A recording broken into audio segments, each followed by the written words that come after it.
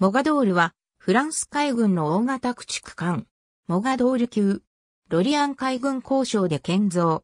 1934年12月28日寄港。1937年6月9日浸水。1939年4月8日収益。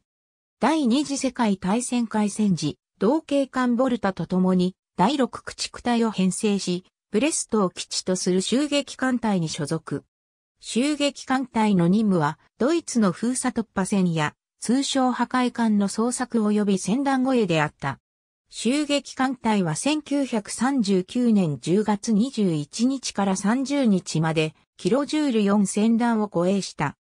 11月に、ドイツ巡洋戦艦シャルンホルストとグナイゼナウが大西洋へ進出しようとした際には、襲撃艦隊もブレストから出撃して、イギリス巡洋戦艦フットと合流し、アイスランド南西沖を紹介した。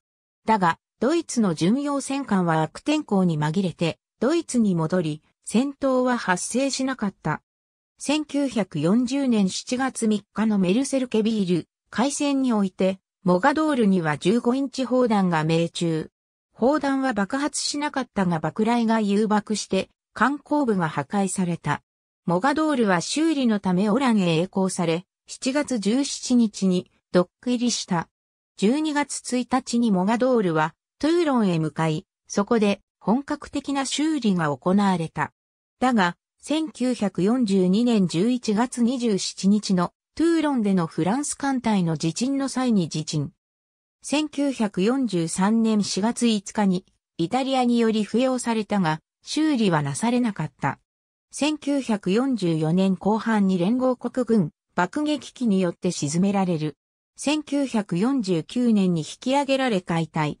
ありがとうございます。